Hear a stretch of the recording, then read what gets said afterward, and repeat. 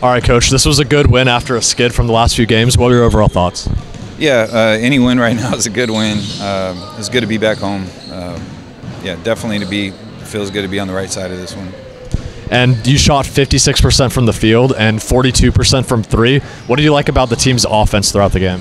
Uh, like, like kind of like you alluded to, it's just nice to see shots go in. Um, you know, to get better quality shots and then actually to see them go in was uh, was a step in the right direction for us. And you have conference play coming up pretty soon.